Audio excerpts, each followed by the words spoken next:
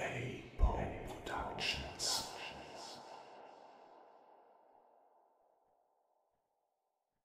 EA Productions liest Thüringer Sagenbuch, erster Band von Ludwig Bechstein.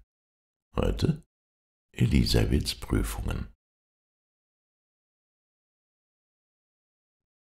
Die fromme Landgräfin Elisabeth von Thüringen war einer Tochter genesen, während ihr Gemahl sich auf dem Kreuzzuge befand, welches Kind den Namen Gertrud nach ihrer eigenen Mutter empfing. Da kam die Schreckenskunde vom Ableben des Landesherrn nach Thüringen, und es blieb ihrer Schwiegermutter vorbehalten, ihr die Todesnachricht des Gemahles beizubringen, die Elisabeth mit dem tiefsten Schmerze empfing. Und dahin war nun alle ihr Trost auf Erden, und sie sagte es selbst, Tod, Tod, Tod ist mir nun die ganze Welt.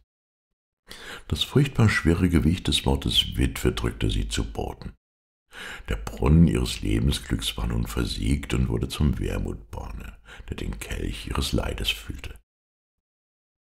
Des Landgrafen Bruder Heinrich, Raspe zubenannt, hatte längst nicht ohne heimlichen Groll die übergroße Freigebigkeit Elisabeths wahrgenommen und sie laut wie im Stillen getadelt.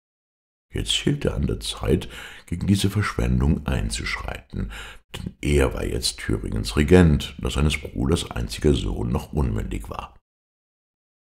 Über die persönlichen Zerwürfnisse, welche vorhergingen, bevor es zum Äußersten gedieh, schweigt sowohl die Sage als auch die Geschichte. Es überhüllt dieselben ein tiefer Schleier.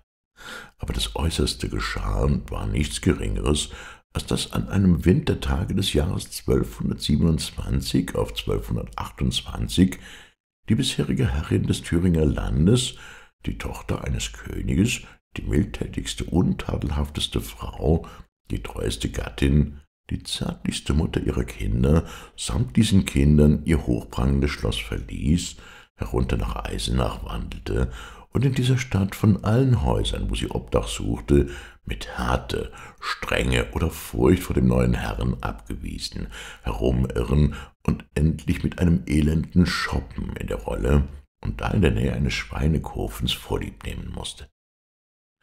Aber groß und herrlich in ihrer tiefsten Erniedrigung ging Elisabeth um Mitternacht in die Klosterkirche der Barfüßermönche und bat dieselben ein Tedeum anzustimmen, das Gott sie als so heimsuche.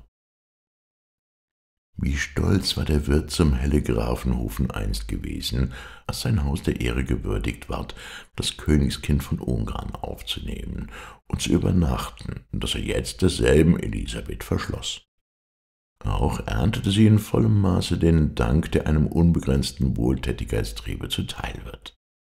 Keine Seele von all den Hungerern und Jungerern, Faulenzern und bettelnden Tagedieben Eisenachs, die sie vielleicht mit ihren Spenden einst verwöhnt, regte auch nur eine Hand für die herabgewürdigte Herrin und für den jungen Herrn, den geborenen rechtmäßigen Landgrafen von Thüringen. Elisabeth wandelte von der Rolle aus am Markte beim Eingange in die Messerschmiedegasse über den Löbersbach wo man über diesen kotigen Graben nur auf schmalen Schrittsteinen gelangen konnte. Da begegnet ihr ein altes, nichtswürdiges Bettelweib, dem die milde Almosenspenderin oft genug die Hände und den Mund gefüllt. Das wich ihr nicht nur nicht aus, sondern stieß mit jauchzender Verruchtheit die edle Fürstin von den Schrittsteinen herab in den Kot des Löberbaches, das sie hernach an ihren übelbeschmutzten Kleidern genug zu waschen hatte und sie trug das alles mit Lächeln und dankte Gott, dass er sie so demütigte.